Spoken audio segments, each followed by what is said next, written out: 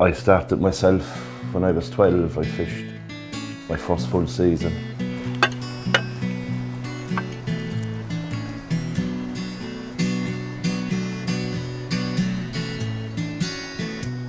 You had uh, the strandmen, the fishermen from Limerick City.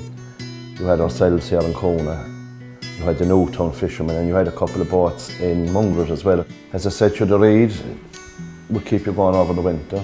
You'd have the fishing for the summer. You'd have a few slack months in between.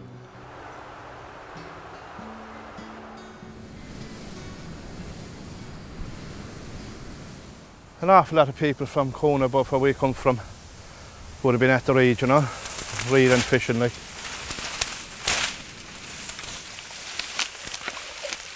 The traditional way of cutting the reed is dying out. There's only a handful of people in the whole estuary cutting it now where there could have been up to 40 people 30 years ago, you know.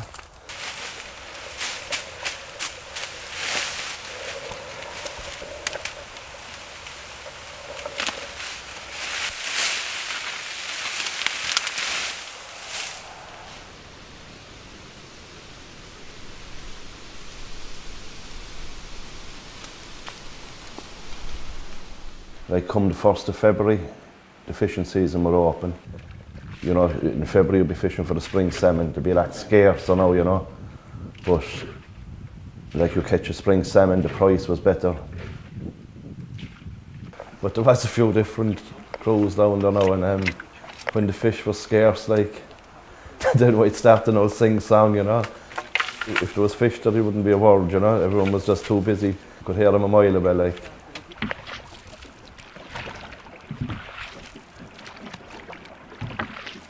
The Limerick boats, they were rowing down in the morning to fish the flood tide. They'd be, they'd be out for the day anyway.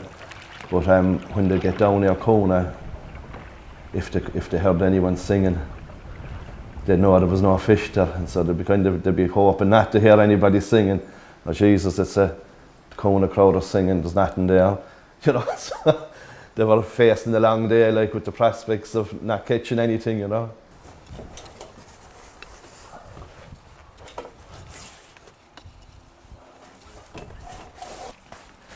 And everything was secretive, of course. Then, how many did you get last night? you could get any answer for that. It was always a low number. Or where were you for the water? you would never say where you were if you got a few, you know, because everyone would want to be there the next tide in. Like so, ah, it's harmless, really, you know. But the weekend, then when the boys are meeting the pub, to I'd come out like. so you start the fresh week again and the fish could set in different the following week, so it didn't matter what had happened the week before, you know. I'm under the deal yesterday, I since I was four years of age with my late father, Henry Blackwell. From about 12 years of age on, I would have been fishing with him, you know. You expected to be a man at that age, you know, but, uh, and you couldn't lie down like, you had to keep going.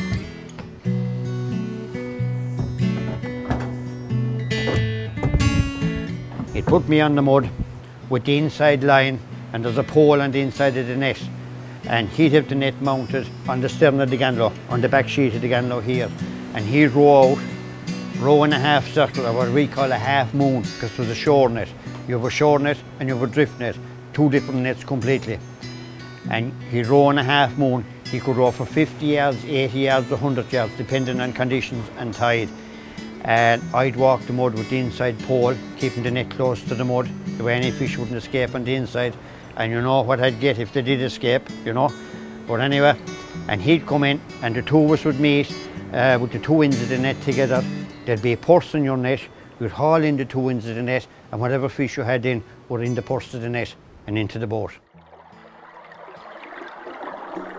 When the salmon come in from the Atlantic, from once they come to the Cashen River in Ballybunion, it takes approximately three days before they arrive up here.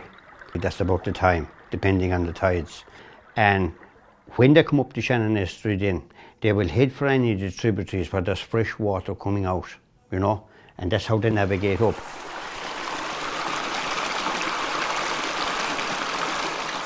Again, they will float in approximately four inches of water. She's the most suitable on the Shannon Estuary where you have mud flats. They were ideally suited to, to drawing seaweed, fishing and servicing the islands as well. You take the boats on the River Deel now, Uh, they're only all pleasure boats. There's nobody working a boat out of the River Dee now, only myself, nobody else. I'm the only one working a boat out of there. This river is part of my heritage. It has been there all my life, and the Shannon Estuary is there all my life. I'm a man that doesn't travel that much now. I don't go out foreign holidays or anything. But there's a lot of islands from uh, Kildysart uh, up to Ballynacally, up to Shannon Airport. To me, that's my own personal haven.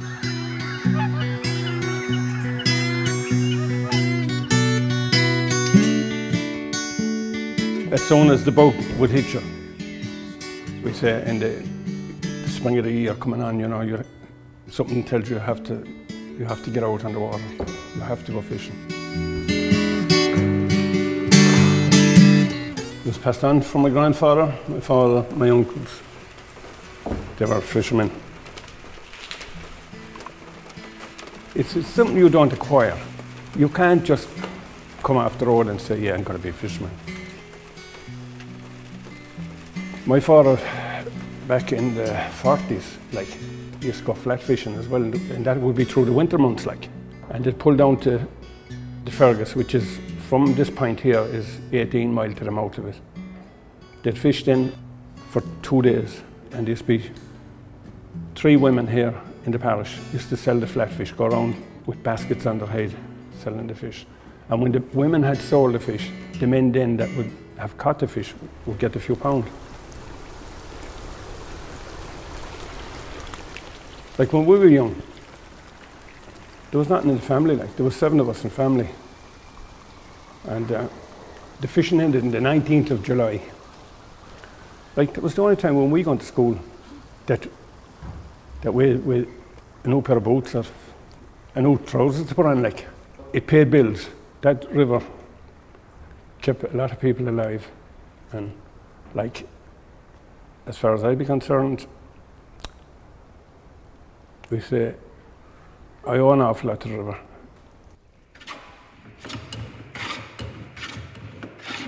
The fishermen of, the, of, of this area uh, built all their own boats. What was told to me was that the Viking came up with the idea of the flat bottom boat. because it little slide like a ski over the mud, which it will, one man could push this over the mud, no bother. You know? There has been very little change in this one to what my father and my uncles and grandfather built. All the boats around here back in the up to the 50s were all sail. They'd pull down and they'd come back under sail because we're a westerly coming up anyway up to Shannon. You know, you'd always get home easy. It's the Limerick boats that, that use the sail more than anyone because the rest of the boats down below they'd only a short pull in, like they were like over the bank type of thing, like Newtown and Coonagh there, like like when there was a three man boat, you'd have a 14 foot oar on either side. So no matter no matter what weather you had, you had a stabilizing effect all the time. The pleasure I get out of making these, out my workshop, I'd say, is, I mean, you can't measure it. You can't measure it. No.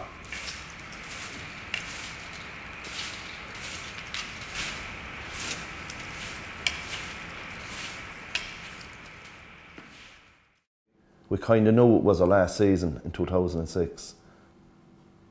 It kind of didn't really kick in the first year. It was, it was kind of a novelty. Like you're walking down to the bank, you're looking out at the river and you can't go out. You know, and at, at times down there when there's a nice westerly breeze and a good tide running that, that's what we what we'd say now, Jesus, it's very fishy looking. And um, kind of strange that we couldn't go out. But really, it was the following year that it kind of sunk in, you know. Jesus, like we're not going out anymore, you know. And it's been like, it's been part of our lives and all, all the people before us for generations and generations. It was just a thing that was taken for granted. Nobody saw this coming, like, you know. You take the few fishermen that's here on the Shannon Estuary. What harm are they doing? They're drafting legislation that you can't fish. They, they, they offered the, the fishermen 6,000 uh, euro each for their nets, right? Some took it, some refused it, right? No way I take it because uh, that's the legislation they drafted in. But our legislation is that our fathers, our grandfathers never even fished before us, and it's our right to fish. This tradition should, it should not be lost. This is my history. I'd love to be able to say, have someone coming on after me to, but they haven't got interest. And you can't put interest into a person's head if they haven't got it.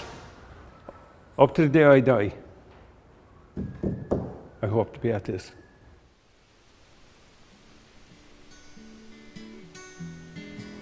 It's something that I, that I hope before I go that I can get back down there. You know.